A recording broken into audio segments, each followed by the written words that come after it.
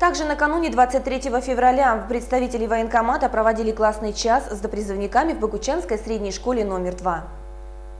Искается предохранитель. На предмет проверки, может быть, там остался патрон.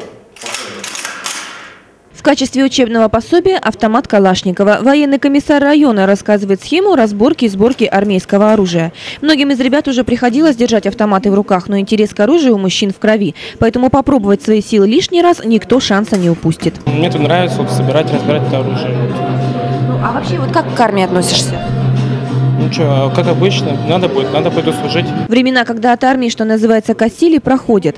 Сегодня армия вновь набирает свою былую славу и престиж. Молодежь единогласно готова к службе, понимая, что настоящим мужчинам без такой школы в будущем просто никак не обойтись. Мы как бы перед, раскрываем перед ними то, что их ждет в дальнейшем будущем. Он должен стать на воинский учет. Через год он должен прийти на призывную комиссию, и уже мы с ним должны отработать или проводя такие агитационные мероприятия. Мы, естественно, в первую очередь преследуем это профориентацию, это военно-учебные заведения, военно-учебные центры. Елена Крыжан, Александр Маживанов, 10 канал.